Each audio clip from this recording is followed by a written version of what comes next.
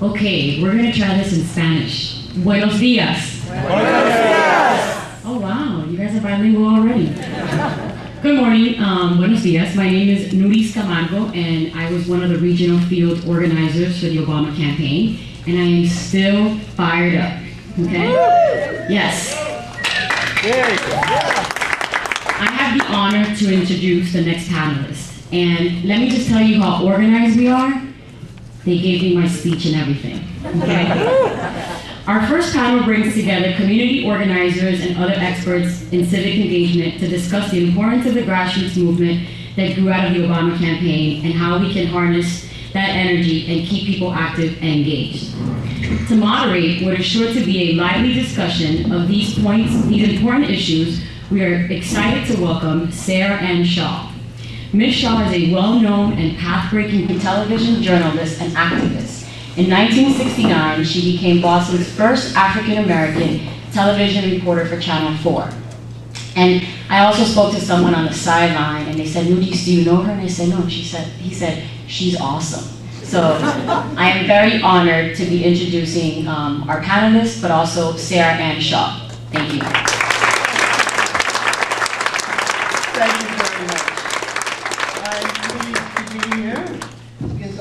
What we're trying to do is important, not just for nationally, but as Marcia said, locally.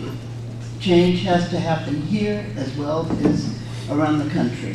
I'm going to introduce the panelists and then we're going to get started. Uh, going to my right and your left, Sarah Compton, Massachusetts State Field Director, Obama Campaign, Marshall Ganz, who you've already heard from, and you know, there's information about all the people in your packet, so you can read more about them. Juan Leyton, who's the Director of Neighbor to Neighbor. Have to lean forward to, oh, Ethan Winn, who is a, oh. You know, I just got this stuff this morning, so you have to bear with me. Arch, software architect, EchoDitto, does a lot of stuff with the internet and et cetera, et cetera. Hey. Like that, Ethan? And- And last but not least, Alan Khazei, who I met when he was co-founder of City Year, and he now is with founder of Be the Change, Inc. I'm going to make sure that we stay on time for this panel, so I'm going to give everyone two minutes right now to answer a couple of questions. From your vantage point, what was special about the Obama grassroots campaign movement?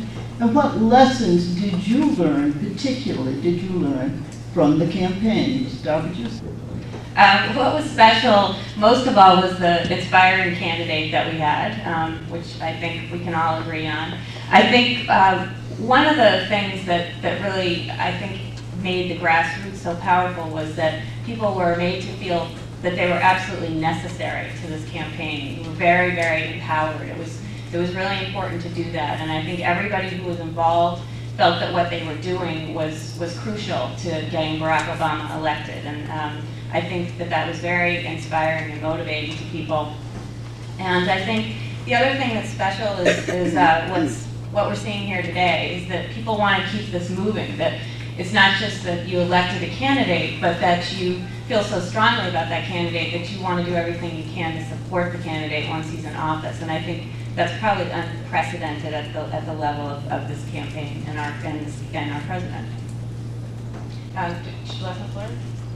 Um, I would say I'm going to speak to Massachusetts because it was kind of a different animal. Um, we, uh, we're not a red state, we're a blue state. And I think the tendency is to think, oh, that's Massachusetts. We don't need to worry about Massachusetts because we know everything's going to be fine there. Um, but the fact is, I think over time it became really clear that we needed more staff and more resources here because of the potential there was to help in other places. And you know, typically we help in, in New Hampshire, and I think by the end of this campaign, because um, we had so many resources, we were able to help in a lot of other places that um, we haven't always helped in before.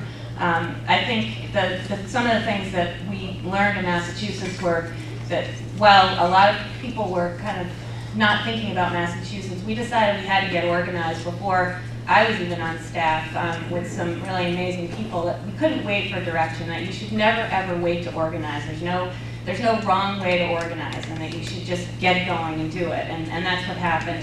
Um, we empowered people, and I would say that we organized the state as if it mattered. Um, sometimes we would have to stop and remember that it really, we weren't really um, in a fight here in Massachusetts, but we were able to get more people um, to other states and to reach voters, more voters across the country because we were so well organized here. And um, I think that's a really important lesson, that it's not about sending blast emails out from the headquarters to get people to New Hampshire. It's about building a local organization and having other people talk to each other and encourage them to, to help in this campaign. And I think that was really crucial, and I hope that that's my motivation for wanting to continue working with people here so that um, we have that organization here and we, we keep it going for forever.